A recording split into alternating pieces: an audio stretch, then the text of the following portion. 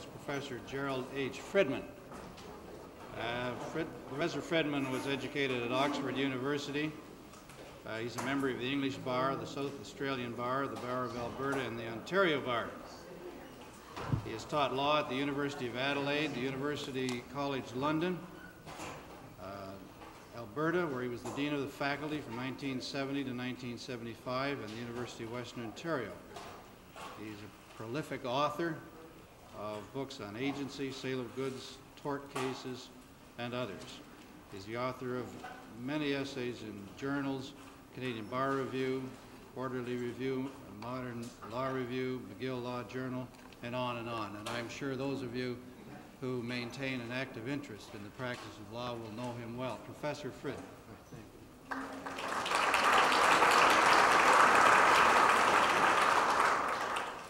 Thank you very much, Mr. Chairman, for that introduction. Like the other speakers, I have prepared a paper which will ultimately be published in the volume of these lectures.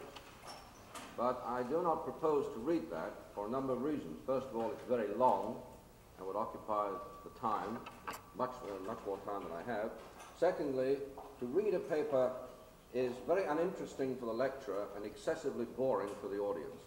So what I propose to do is to give you the gist of the paper in the ensuing three quarters of an hour.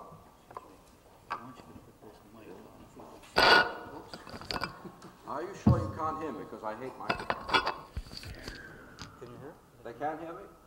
All right, here we are. Very good, thank you.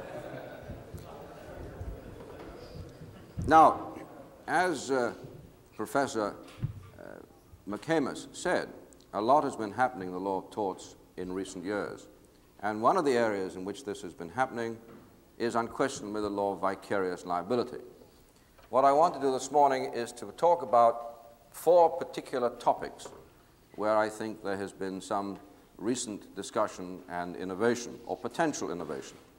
First, the nature of the relationships that attract such liability. Secondly, the circumstances when such liability may arise. Thirdly, the question whether vicarious liability is really vicarious. And lastly, the problem of the exemption from liability of the one for whose acts the liability is imposed. Let us begin then by talking about the uh, persons in respect of whom vicarious liability may arise. Now, uh, you are all, I'm sure, familiar with the classical distinction between the contract of service and the contract for services and the uh, idea that uh, an agent or a servant, on the one hand, may operate under a contract of service of some kind or another, whereas the independent contractor uh, operates under a contract for the provision of services, and the difference is that the, uh, there may be vicarious liability for the conduct of the agent or servant who works under a contract of service, but not, or in general terms, not for the acts of an independent contractor who merely contracts to provide his services and does not render the employer, uh, generally speaking, liable for what he does. It seems that there is still much reference to this uh, idea in the case law. And a recent example in the courts of Ontario is the uh, rather gruesome case, the facts are gruesome, of Fenn and the city of Peterborough, in which uh, one issue was whether the uh, municipality were liable for the acts of the uh, PUC in Peterborough, which resulted in a terrible accident causing uh, uh, dire injuries to various people. What emerges from the judgment in the Ontario Court of Appeal in that case is a very clear distinction between the possible uh, liability of uh, the principal in tort for the acts of the agent and the possible liability in contract. Uh, and there is uh, considerable discussion of the question whether, when they delegated a task, when the municipality delegated a task to the uh, PUC, uh, the, the latter became the agent of the former so as to make the former liable. And in the result, it was held that there was such vicarious liability uh, because there was the necessary relationship. Um, there's also a question as to the personal liability of the agent, uh, which I don't think need concern us for the moment. Now, although there is retention of this idea of the distinction between service and services, there is considerable discussion as to what is the basis of that distinction. We know that over the years there have been uh, many criteria suggested for drawing the distinction. Criteria such as the mode of uh, creation of the relationship, payment, duration, extension of, uh, of the term of the, of the relationship, who may discharge the employee, and so on. Essentially, however, when you boil down all that's, that's uh, raised, the impression is given in, in expressed language and by implication that the classical test is one of control. Who controls whom? Is there sufficient control to justify the imposition of this vicarious liability? Now,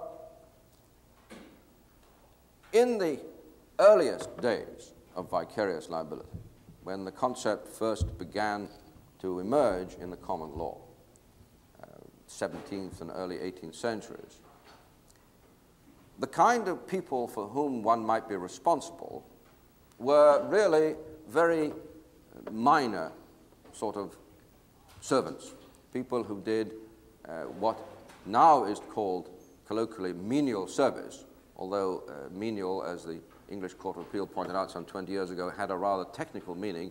It meant, in fact, work that was done intra moenia within the walls of the household, but, but what's come to mean anything that is uh, rather humble and even demeaning. In those days, when servants did that sort of work, the idea of control was a very realistic one. You could, in fact, quite easily uh, regulate what your uh, butler or your uh, agricultural laborer or whatever, your coachman, was doing. In the 19th century, and certainly in the 20th century, society is a little more sophisticated. And a lot of people who are, in the eyes of the law, servants or agents subject to control, in realistic terms, cannot really be controlled. Uh, there is a famous uh, dictum of, I think, Lord Simon, uh, the Lord Chancellor in the 40s, to the effect that the captain of the ship, uh, when told what to do, will provide the sturdy answer. In other words, that although theoretically the captain of the ship may be the servant of the ship owners, there is really no way in which they can tell him what to do in any specific terms. And there are many other examples today of people who clearly cannot be told what to do or how to do it, and yet are theoretically under the control of their employers. Since it is clearly unrealistic to talk about control in these situations, another idea has been put, put forward, uh, an idea which was recently uh, adopted uh, and utilized by Mr. Justice Linden in a case called uh, Kennedy and CNA Assurance Company.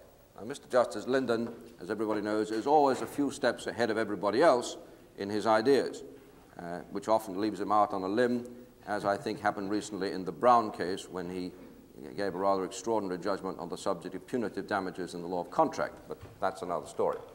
Anyway, in the, uh, in the Kennedy case, uh, his lordship referred to this uh, notion. Uh, and there is a certain element of validity about the whole idea. In other words, instead of talking about, and, and here I'm really summarizing the, the, the, whole point, instead of talking about whether somebody controls someone else, theoretically or realistically, one should see whether the person whose act is involved, the person whose act sets off potential liability, is a part of some group or organization which has undertaken responsibility with regard to the plaintiff.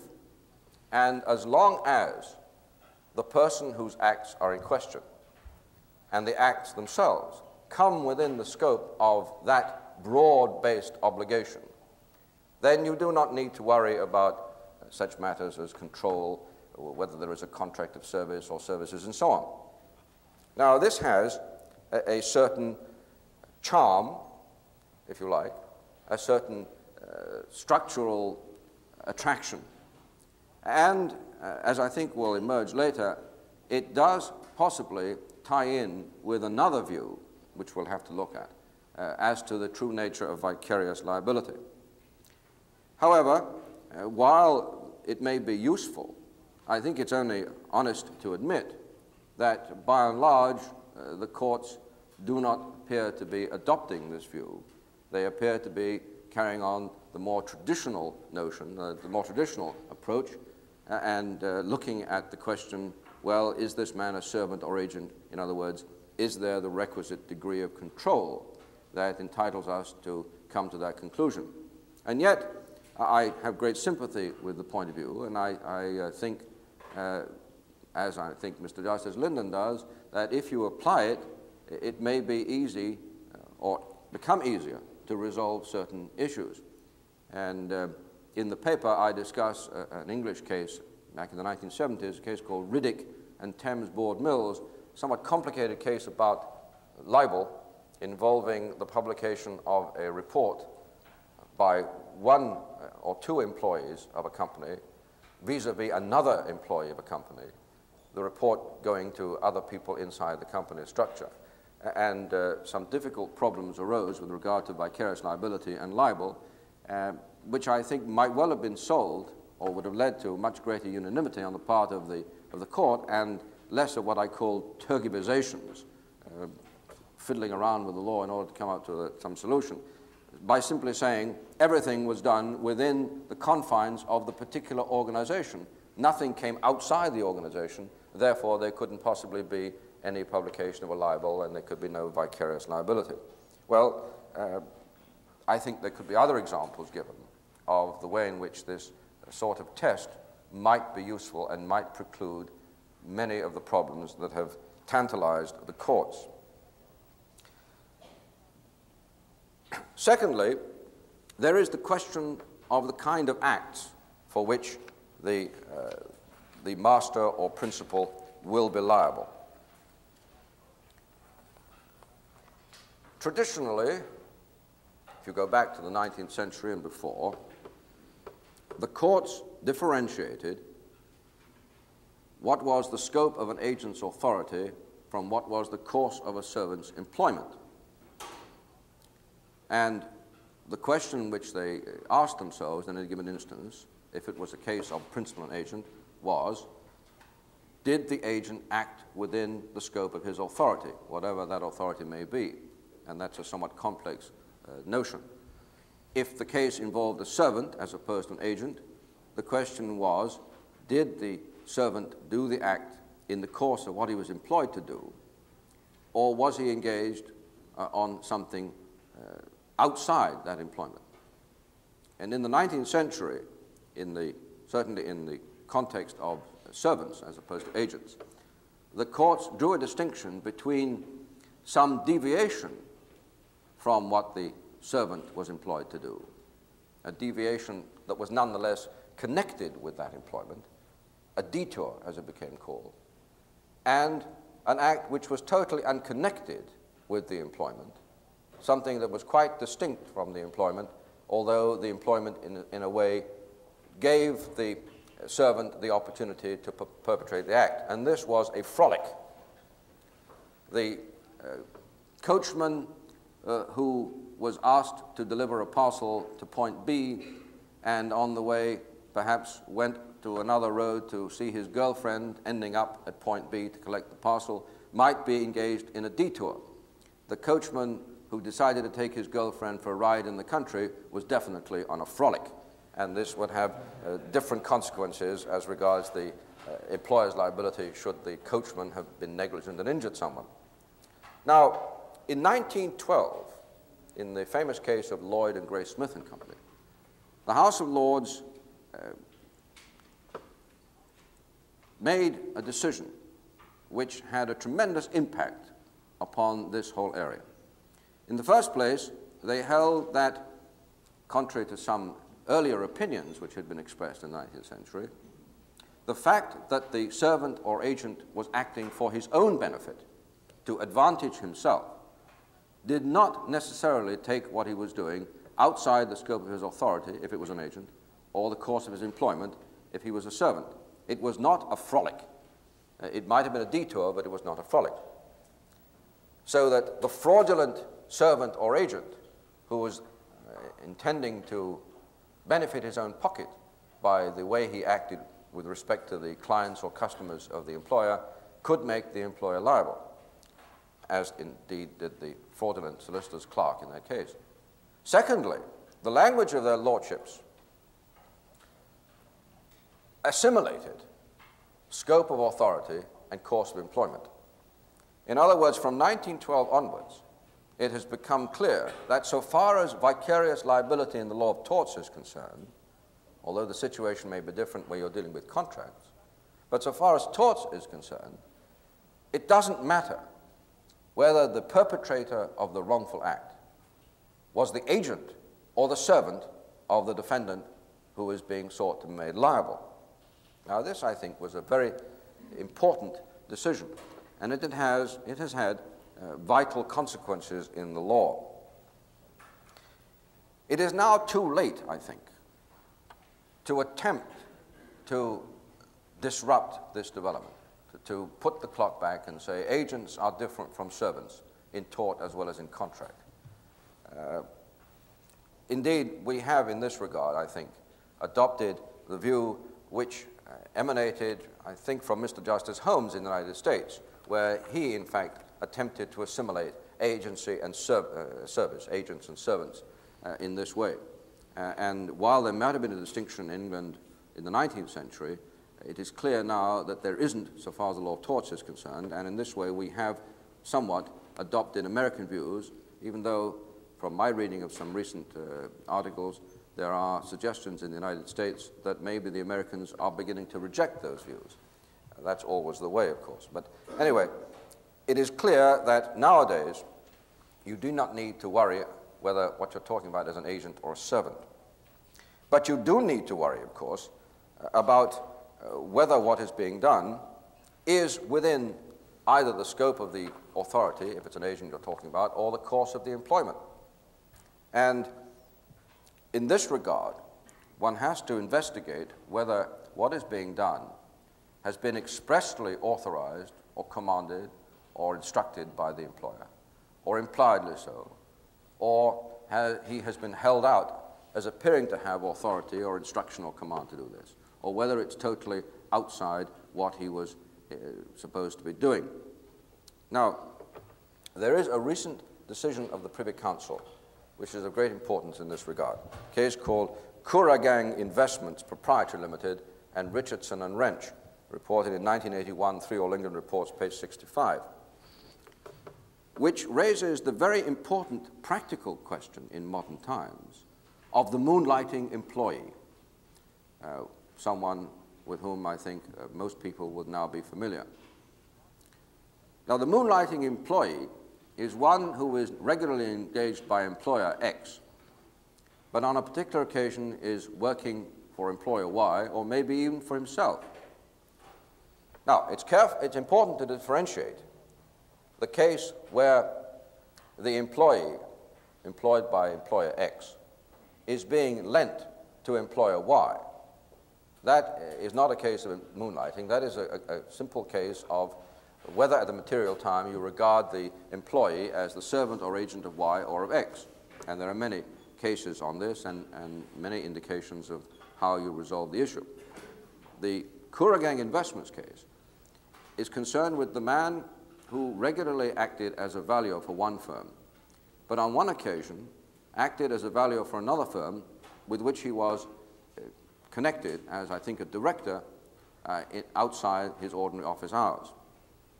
And he performed some valuations for the plaintiffs, which turned out to be made negligently with the result that they lost a lot of money in, uh, on the loans they made. And they wished to sue the valuer's employers. In the event, it was held that the employers were not liable because the employee, the negligent valuer, had not been acting as their employee at the time, even though it was the kind of work that he was normally employed to do, namely value property. He was not fulfilling their instructions. He had, in fact, been told not to work. They'd all been told not to work for this company, these appellants, because uh, the uh, company had failed to pay some bills for the employers in the past. So there was a, a kind of prohibition against working in this way. Now, it was argued for the appellants that since the valuer was valuing, which is what he's employed to do, and since he was using the notepaper and time of the employer, even though it was for his own purposes, his own outside purposes, that therefore the employer should be liable. There was no way, no reason why the plaintiff should know that the valuer was acting for someone else at the time rather than his actual employers. But in fact, the Privy Council said this would create a very strict liability indeed if you took the view that as long as a man was doing the kind of thing which he was normally employed to do, whether it was what he was instructed to do for a client for whom he was instructed to do it, in the time of his employers or outside, and so on.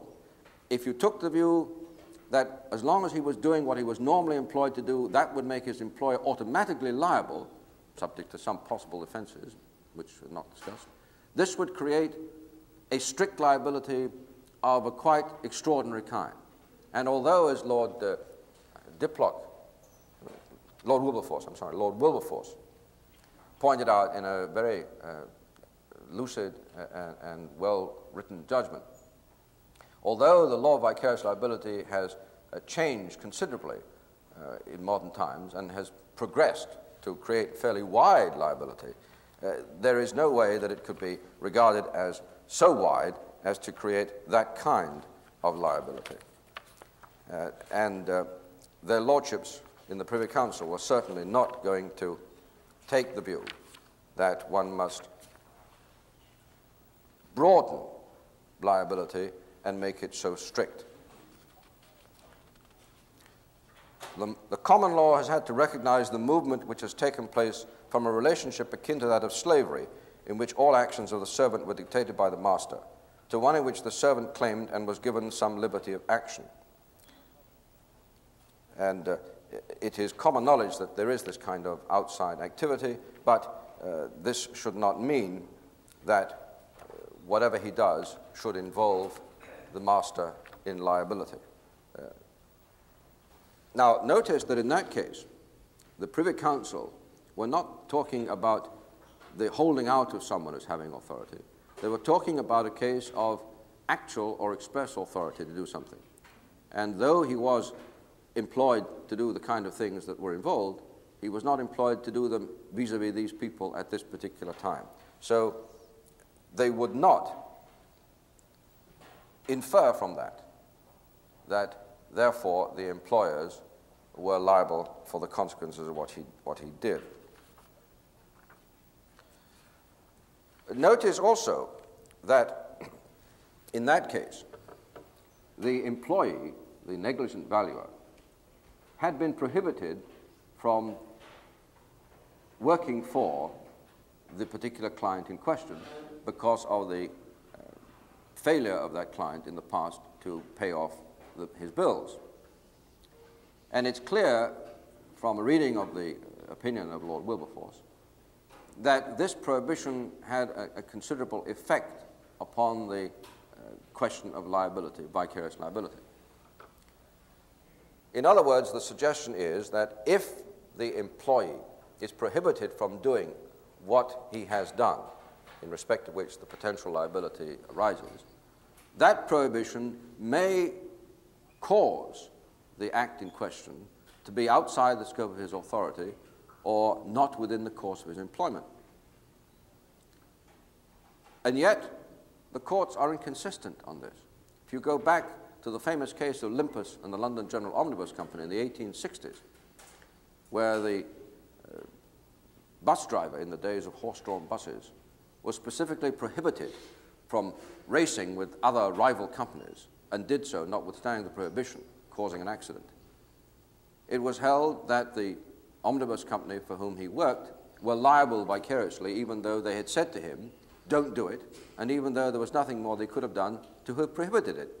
Yet here is the Privy Council some years later, 100 years later, in the Kooragang case, seemingly suggesting that a prohibition can have the effect of making what is done not uh, something for which there can be vicarious liability.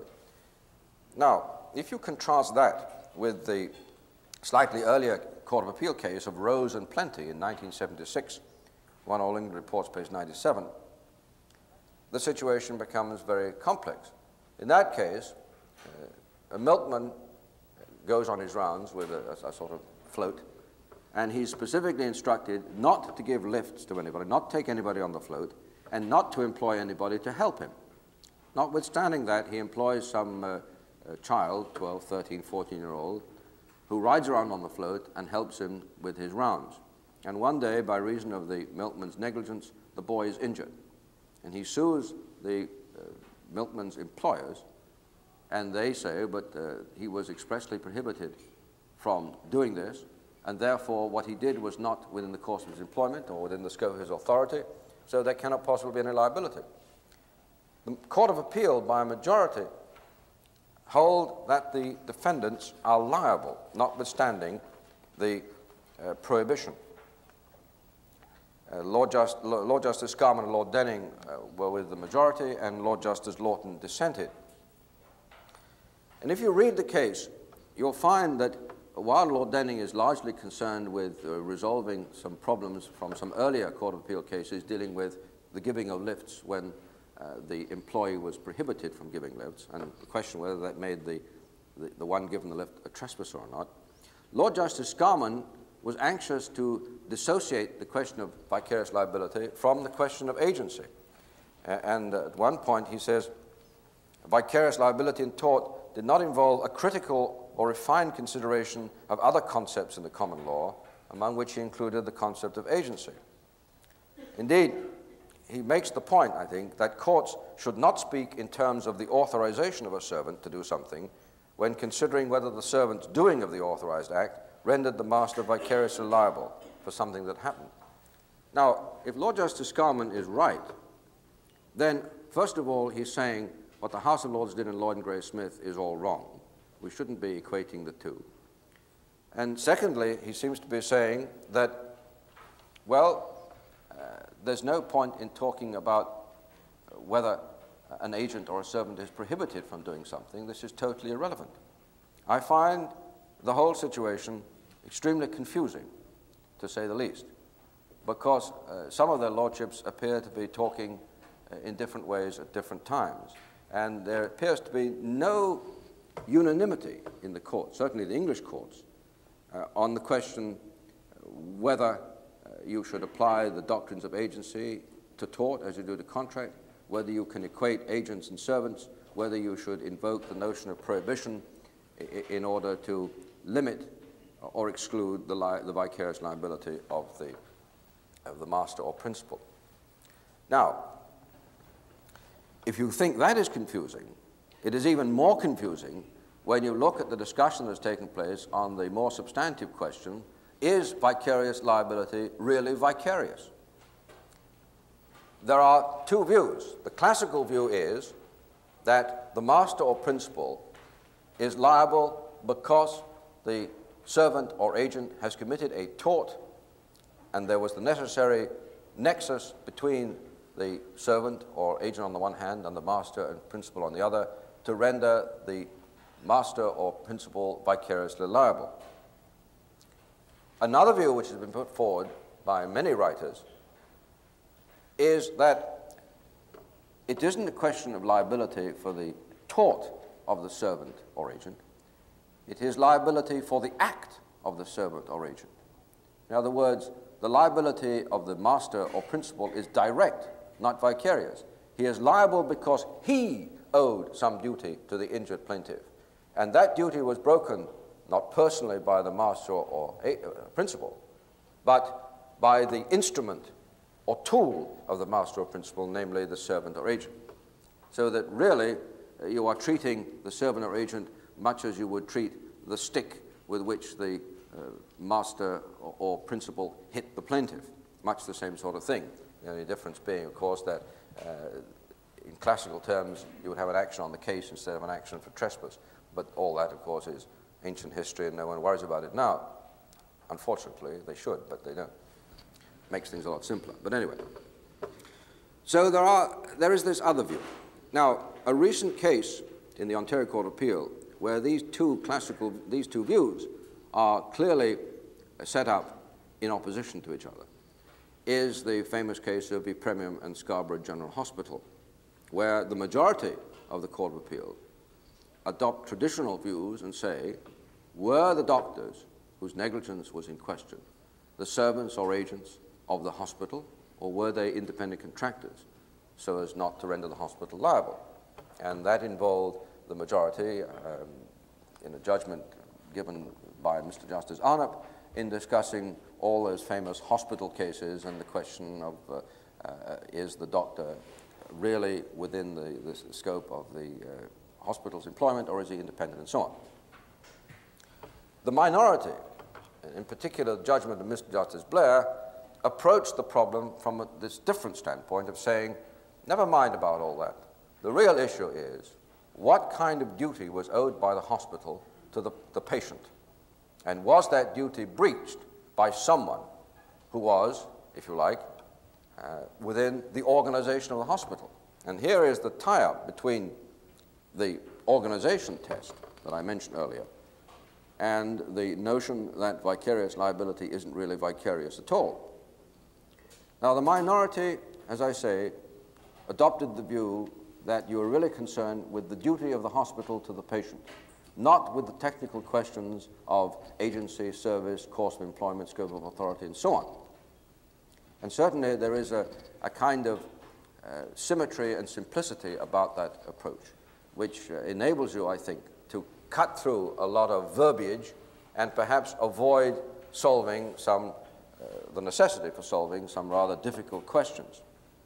However, it is only fair and right, I think, to say that there are counter-arguments and there is no general agreement that uh, uh, this approach is one that can be satisfactorily adopted.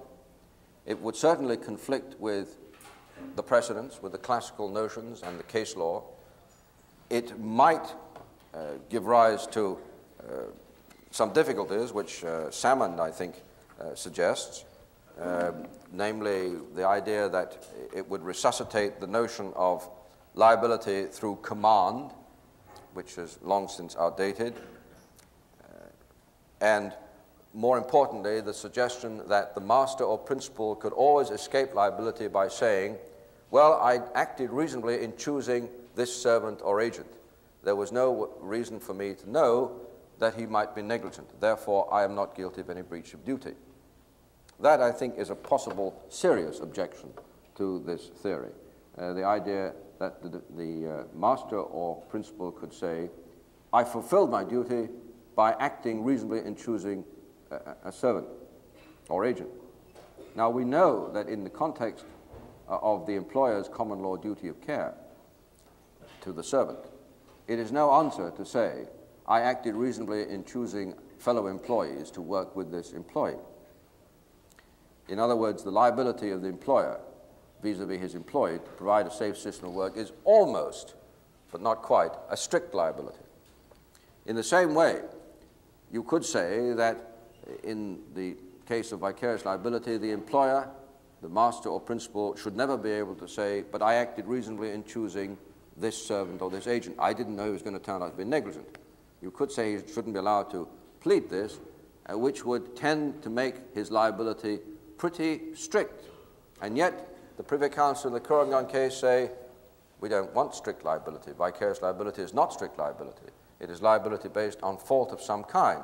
Maybe not yours, the employer's fault, but certainly uh, fault in that you employed him uh, in this capacity and he did the wrong. But it is not strict. Now, if the Privy Council are right there, then maybe you shouldn't uh, apply the approach adopted by Mr. Justice Blair, speaking for the minority in the Yepremian case, because this might tend, might lead to the interpretation of vicarious liability as strict. Now, it's true that in a sense it is strict, in that it isn't the personal fault of the defendant that is at stake in 99% of the cases. There may be some cases where he is, but this isn't generally so. It is, in that sense, strict, but it isn't strict in another sense, in that um, he may be able to show that there are reasons why he is not liable even though the servant or agent acted wrongfully. For example, that the servant or agent was acting on a frolic of his own, that the, the, servant punched the plaintiff in the eye not because the servant was protecting the master's property, but because the servant didn't like the plaintiff, uh, had a quarrel with him, and wanted to hit him. So it isn't that strict. And the question really is, do you want to make it stricter, or do you not want to make it stricter? And this uh, is, I think, not so much a question of, of legal theory, although ultimately it would be transformed into legal theory, it is really a question of legal policy. How far do you want employers, to use a neutral term, to be made liable for what those within their employment uh, do? Uh, it's a very important question, but one I don't think that uh, we can answer in the present context. Which leaves me with the last point that I want to raise, where again I think you'll find there are important questions, not so much of legal theory, although there are some of those, but of legal policy. And this is the question of what has sometimes been called vicarious immunity. You have the wrongdoing servant or agent who makes his master or principal liable vicariously, but also renders himself liable uh, because he is, after all, a tortfeasor. Now, there may be circumstances in which, as we've seen, the master or principal is not liable even though the servant or agent is. As, for example, where the servant or agent is acting outside the course of his employment, scope of authority, and so on. Or where the master, for some reason, has some specific immunity, such as, for example, the master is uh, in the diplomatic service, uh, or in the days before the law was changed in England, the master or, or principal was a trade union, uh, and uh, they fell within the ambit of the old Trade Disputes Act of 1906. I don't know what the current situation is. The law changes every time there's a change of government in England, and I'm not au fait with what's been happening recently, but classically, historically, there was that sort of immunity.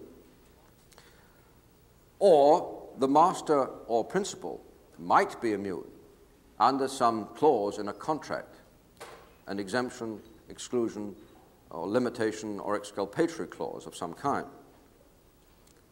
Now, the question which has arisen very significantly and tendentiously in modern times is what is the effect of any such clause upon the liability of the servant or agent who's the real perpetrator of the harm? The one who might otherwise be vicarious liable li is free from liability to the extent to which the, the clause in question operates for that purpose. But what about the one who actually did the harm?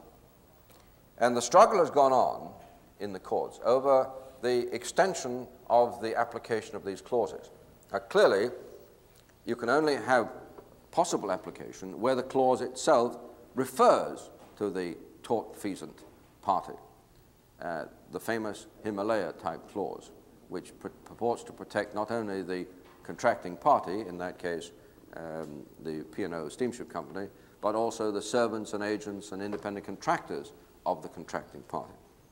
Now, as we know, the initial attitude of the courts was to say that the negligent servant or agent or independent contractor, for that matter, could not avail himself of the exemption clause. Uh, it was res inter alios acta. He wasn't privy. Uh, it's nothing to do with him.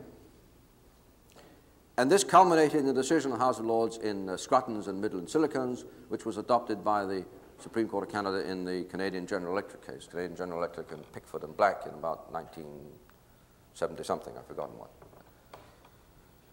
However, In the New Zealand shipping case, New Zealand Shipping Company of Satterthwaite, sometimes called the Eurymedon, in 1975, the Privy Council found a way out. They found a way out in the language of Lord Reid in the Scruttons case by saying that if the contracting party, the employer, contracted with respect to the exemption clause as the, princip- as the agent, sorry, as the agent of his servant or agent, in applying the normal principles of agency, then the servant or agent was a party to the contract, at least as regards the exemption clause, could rely on it and could be immune or escape to some extent from liability. But you had to have the necessary agency relationship and the necessary contractual uh, ingredients, such as consideration and offer and acceptance and so on. And this was found in the Eurymedon on the fact of that case. Uh, the stevedores were held to be the principals of the shipping company uh, so far as the exemption clause was concerned. And there was consideration for the whole contract in that they provided the work. It was found also in uh, an, an, Australian case, the uh, Port Jackson Stevedore Company in uh, Spraggons and Salmond and Spraggons. Um, and it is clear that if you can find this necessary agency relationship, you can allow the negligent servant or agent to gain exemption from liability. The problem is that what you're saying for these purposes is that the agent or servant of the principal becomes the principal of the principal, or if you like, that the principal becomes the agent of his agent. I think the whole thing is a fiction designed for the purpose of enabling the courts to extend the scope of these exemption clauses, which is surprising in view of the fact that they have said more than once they don't like exemption clauses and they won't uh, operate them uh, and apply them unless it is clear on a very strict construction that it must operate on the particular circumstances. You think of all the um, dodges that the courts have got up to in recent years, culminating uh, in that uh, decision of the Supreme Court of Canada in the Beaufort Realties case, um, the, the Chomedey aluminium case, whatever it's called, uh, to try and get around the application of an exemption clause which clearly applies. And yet here they are saying, oh no, we're going to let the exemption clause apply. Now it's instructive, I think, to compare two recent Canadian cases in this regard, in one of which the argument failed and in the other which it succeeded. The argument failed in a decision of the Supreme Court of Canada in Greenwood Plaza Shopping, shop, Greenwood Shopping Plaza and Beattie. And there, the employees attempted to invoke a, clause in a lease to which their employers were party, in, in which the, um, the landlord had said that he would not uh, invoke subrogation rights against the, any negligent employees, any wrongful employees, if a fire had destroyed the property. Now, these employees were negligent. It was their fire that destroyed the property. And when they were sued by the landlord, they said, But you promised not to do this. Uh, to which the answer was, I promised the lessee I wouldn't do it. I didn't promise you chaps. You're not parties to the transaction. So their argument was, well, we must be parties to the transaction because it was our employer who made the lease. And he obviously made it on our behalf. And the, in the Nova Scotia Court of Appeal, Chief Justice uh, MacKeigan, I think, had a very fascinating judgment in which uh, he often has fascinating judgments. There's a wonderful one of his in a case called Re Spears and Levy, which is all about marriage and uh, unjust enrichment and is quite the most remarkable piece of legal writing I've read in many years. Anyway, in this case, he, uh, he propounded the view that, and in this he relied upon some dicta of Lord Wilberforce in the uh, Eurymedon case, as some other Canadian judges have done in the federal court and elsewhere in recent years, to, to, to suggest that what you're looking at is the real purpose behind the transaction. Never mind what the parties actually wrote, what is the ultimate purpose of the transaction? I am paraphrasing what he says, of course. And uh, here, the obvious intent was that the parties, the landlord, really intended to not to hold anybody responsible, simply to collect on the insurance. And therefore, these uh, negligent employees should be entitled to the exemption. But in the Supreme Court of Canada, uh, Mr. Justice McIntyre, speaking of the court, took a very technical view and said, But law is this if you're not a party, you cannot claim an exemption. You become a party either by the doctrine of agency or by the doctrine of trust, which is another story that needn't worry us. Trust wasn't operative here. Agency wasn't either because the lessee did not contract as an agent for his employees, and there was no consideration given by the employees to the landlord for any promise to exempt them from liability. Now, in the Dyck case, a Manitoba case, Dyck and the Manitoba Snowmobile Association, the very opposite decision was reached. And this is a case where the plaintiff sued in respect of the alleged negligence of the starter of the association at the beginning of a race, resulting in his injury. In the um, contract, which was in fact the entry in, into the race, there was specific provision which said that the organi organizers of the race and their employees, etc., would not be liable you know, or exempt from liability. Again, I'm not giving the exact words, but the gist of it. Now, the starter, who was certainly an employee of the association, claimed the benefit of that exemption clause. And here, the Manitoba Court of Appeal said he was entitled to it, because here, the obvious intention was to contract with this, for this exemption clause on his behalf, on all the other people's behalf. And secondly, he provided consideration. What was the consideration? That he fired the gun that started the race? They don't say that. I can only assume that that's what they had in mind. Now, in the Eurymedon, there may have been consideration because the, uh, the stevedores did unload the goods. And though they did something for the owner of the goods, and therefore might, they, they could be argued, they would only do this if they were given the promise or benefit of the exemption clause. But would the starter not have started if there hadn't been the exemption clause? I don't know. Uh, the Manitoba Court of Appeal do not really analyze the situation very carefully. They simply say the ingredients for this kind of extension are the ones that you cull from uh, Lord Reid's judgment in, uh, in Scruttons and from the judgment of the Supreme Court in the Greenwood Plaza case. And uh, there is enough evidence here to establish the necessary ingredients, and therefore you can apply it. Now, once again, I say the law is in a state of confusion. Uh, I don't think that they have yet resolved what they want to do or why they want to do it. Uh, and um, it, sooner or later, it must be resolved.